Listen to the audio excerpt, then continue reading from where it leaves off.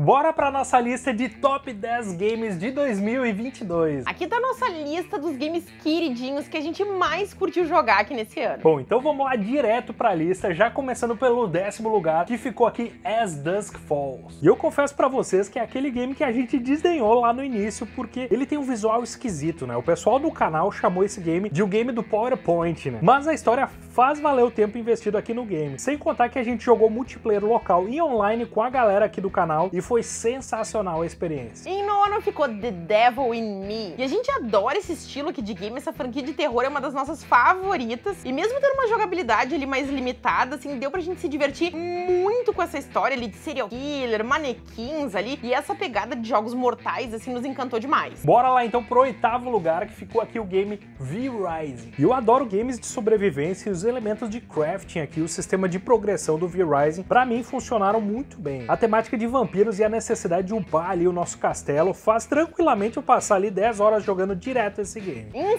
sétimo lugar ficou o polêmico Stray. E esse que é o famoso game do gato ali, que ficou muito polêmico aqui por ter concorrido ao Gore desse ano. Mas é inegável que esse jogo aqui é muito bom, ele tem alguns quesitos ótimos, ele é um game muito bonito ali, com uma história bem intrigante ali, e a gente curtiu demais explorar ali cada canto desse game. Sem contar ali também que a equipe foi muito corajosa ali de colocar colocar o gato como uma figura central aqui do game da história. Bora lá então pro sexto lugar, que é o game Gotham Knights. Que é um game que ficou bem marcado ali pela polêmica dos 30 e 60 FPS, mas ele traz aqui um visual sensacional e uma gameplay que é muito divertida ali explorando Gotham City. A história ela é bem interessante e mesmo assim, ó, vou dizendo para vocês, é, sendo um game repetitivo em alguns momentos, ainda assim é um ótimo game. E antes de continuar esse vídeo, já se inscreve no canal e clica no sininho para não perder nenhum dos nossos vídeos. A gente tem assim várias redes sociais elas estão todas aqui, os links são todos aqui na descrição do vídeo. Eu quero lembrar vocês também de dar like aqui nesse vídeo, que é importantíssimo aqui pro canal, e convidar vocês também para serem membros apoiadores aqui do Blog Nerd, e com isso vocês têm acesso a benefícios exclusivos aqui do canal. Em quinto lugar, a gente escolheu o Gran Turismo 7.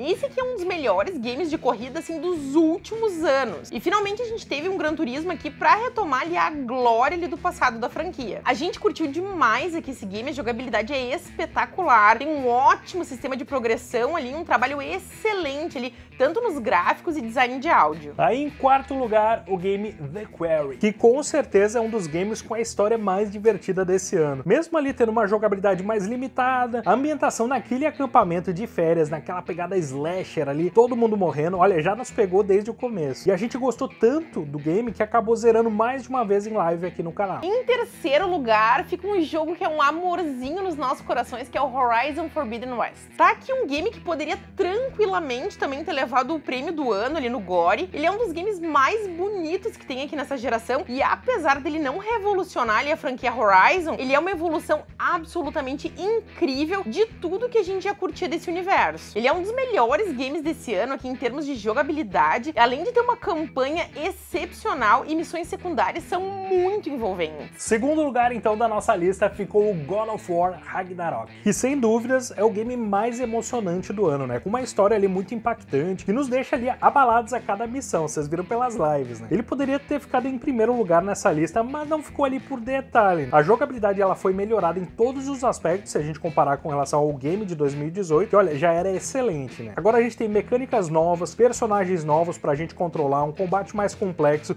e por aí vai. E o game segue tendo aquelas fights cinematográficas que para mim só o God of War sabe fazer. E é outro game que premia quem vai em busca de missões secundárias aqui de altíssimo nível. Em primeiríssimo lugar, a gente não poderia deixar de colocar o nosso amorzinho Elden Ring. Esse game aqui virou assim um amor na nossa vida. Assim. Esse game ele trouxe uma jornada de muito esforço, de muita raiva e de explosões de alegria. Eu nunca vou me esquecer ali de cada boss fight vencida, olha, de cada caminho ali do sofrimento para chegar na vitória e também assim, ó, o amorzinho que foi conseguir platinar esse game. Ele é um game que revolucionou o universo dos Souls-likes ali, com um mundo aberto extremamente rico e cheio de lore. Cada cantinho assim do mapa a gente descobriu um monte de desafios novos ali e a gente ia conhecendo os personagens com histórias diferentes. O design ali dos monstros monstros, dos chefes aqui desse game é absolutamente impecável. E com certeza um dos melhores games dos últimos anos, assim. E